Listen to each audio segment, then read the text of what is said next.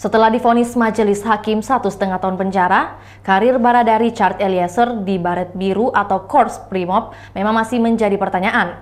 Banyak yang berharap Eliezer bisa kembali bertugas ke satuannya usai kasus pembunuhan berencana terhadap Brigadir Nofriansah Yosua Huta Barat berakhir.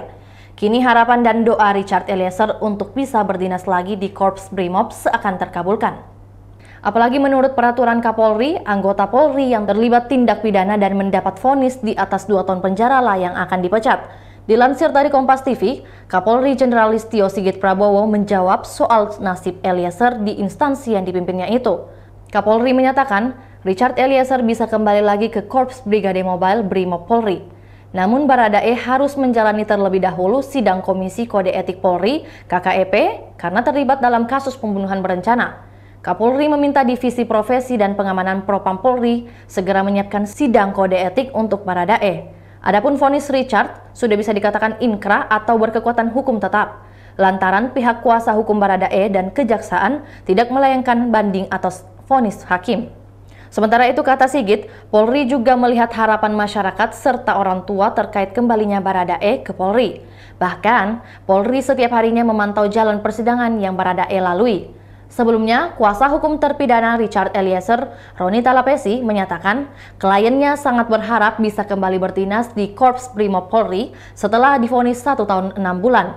Saat menjadi ajudan Sambo, Richard adalah seorang anggota resimen pelopor di Korps Brimob Polri. Sebelum menjadi ajudan, dia tinggal di asrama Resimen Pelopor 1 Brimob di Cikeas Udik, Gunung Putri, Kabupaten Bogor.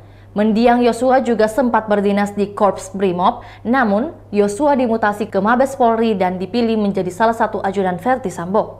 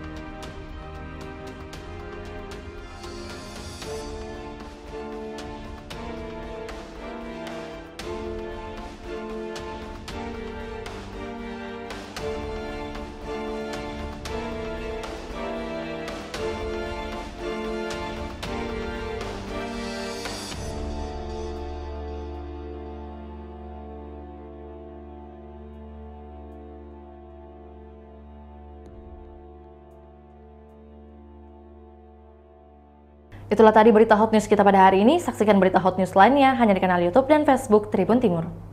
Terima kasih sudah nonton. Jangan lupa like, subscribe, dan share ya.